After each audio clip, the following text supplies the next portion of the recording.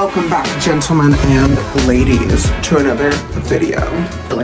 One, two, three, funk it.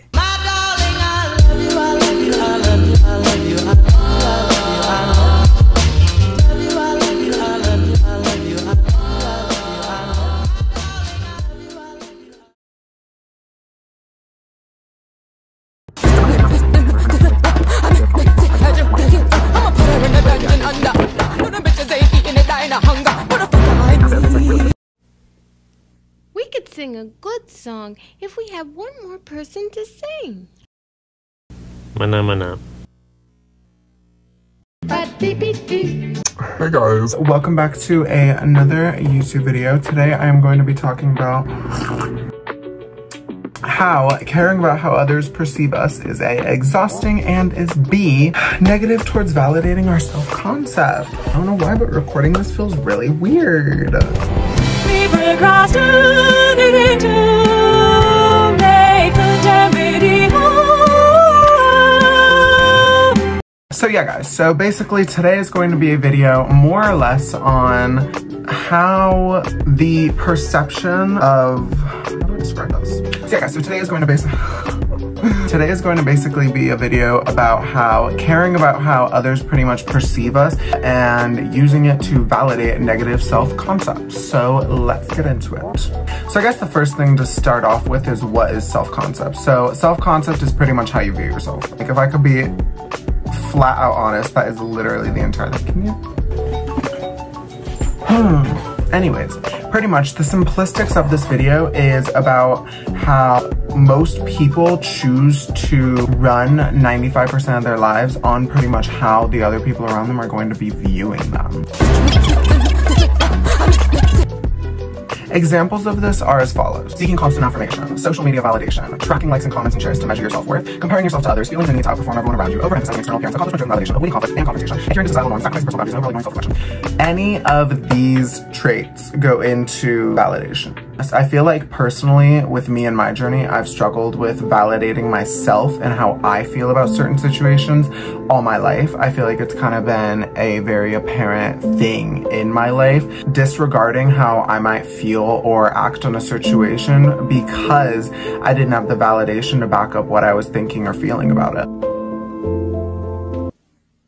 When we choose to take in the accounts of how other people, including strangers, might perceive us, we therefore stop ourselves from being authentic. Caring about a perceived persona, aka how people view you, is not entirely wrong. In fact, it is normal to seek a level of validation as it is natural and humane. However, when it becomes excessive and constant, almost like you're craving this validation, it can become a sole basis of your self-worth and validation, and therefore, not good. Now, caring about validation and seeking validation is not always a horrible thing. I'm gonna be honest. It is very natural. It is human to, you know, crave and seek validation. If you want validation for an accomplishment, that's okay.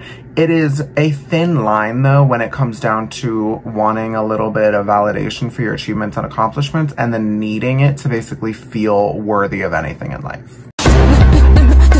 The issue is that validation from others can be extremely addictive and it can lead to a constant need for external approval. At the end of the day, your self-concept should be built on your own values, beliefs, and self-awareness rather than on the short-term opinion of others. Overall, the thought alone of you knowing that you're in control of these personal values, per se, should honestly empower you to prioritize your own opinion above others. Here's the thing, getting constructive criticism and requested feedback is not the same as being influenced by random opinions. Trust the source who you are being guided by. Look at their success and question if they are at a place where you want to be. From there, it should be pretty easy to determine whether or not their feedback should be taken to heart or just as another review on your product. The thing that took me forever to understand, and honestly I'm still even kind of like learning and processing the information today, is the fact that no one cares. No one cares about what you're doing. No one truly, really cares.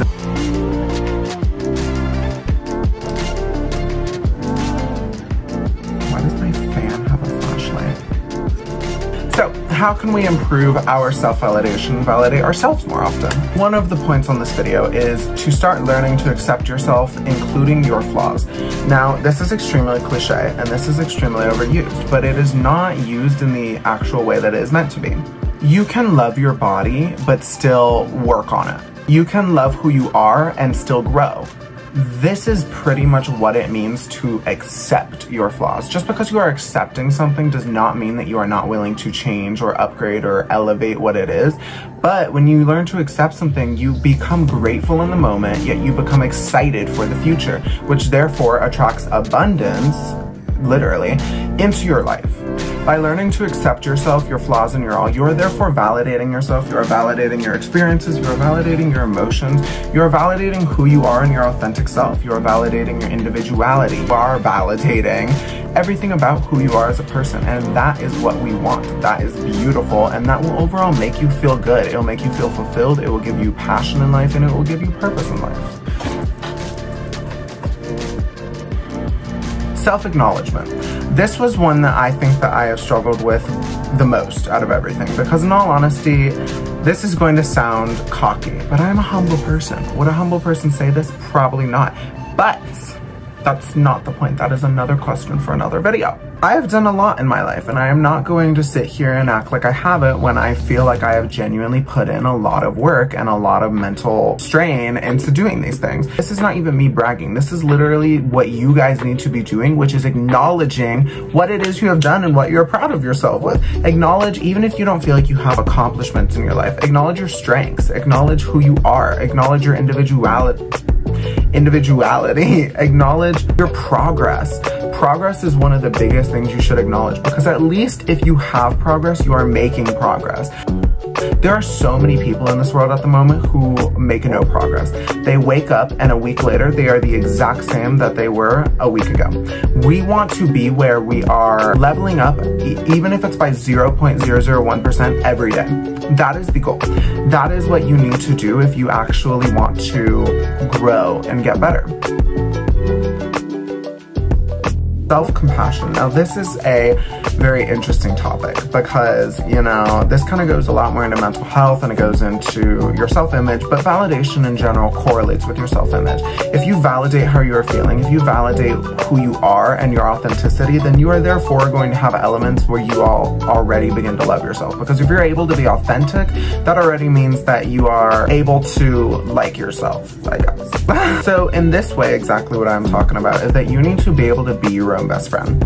Now, this is very romanticized in a lot of elements, but in general, what I mean by being your own best friend is you need to be able to sit here and love yourself the way you would love your number one best friend. If you are putting yourself through a pain that you then can mentally compare to, say, a best friend and be like, no, I wouldn't put them through that, then that is your exact answer as to what you should not be putting yourself in. My best friend, she was dealing with some like rude person, like a guy being extremely rude to her or something. And I was like, if this was your best friend and your best friend was going through what you were going through, would you genuinely just sit there and be like, have fun? Or would you actually say something and step up and be there to help them? And she was obviously like, oh, well, you know, I would say something and help them. And I was like, then why are you accepting it? Like, are you waiting for someone to come in and say that? But you just have to validate yourself and you have to be there for yourself just like a best friend would. You have to be your own best friend. You have to put yourself in the situations that you would only put your best friend in. Now, back to kind of the progress topic I talked about a second ago, you need to basically set goals and you need to basically envision where you want to be at and who you want to be and what you want to accomplish.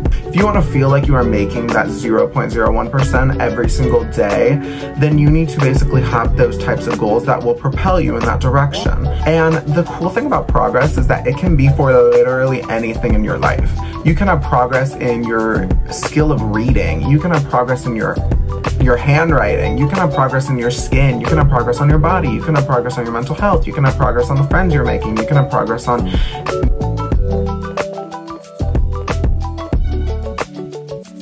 Oh my god, you guys. My literal The outro footage to this video literally got corrupted, and so now it's not even on my computer nor my iPad. So, anyways, I'm going to end the video here. Basically, validate yourself by being authentic, loving yourself, and treating yourself like you would if you were a number one best friend. There was so much more to this video, and I'm so disappointed, but I'm also way too lazy to actually go back and re-record it all. So, anyways, guys, thank you so much for watching. If you enjoyed the video, then please subscribe and please like, and please go feel free to watch my other content uh, if it's out. and yeah, guys, thanks so much for watching. I will see y'all later. Bye.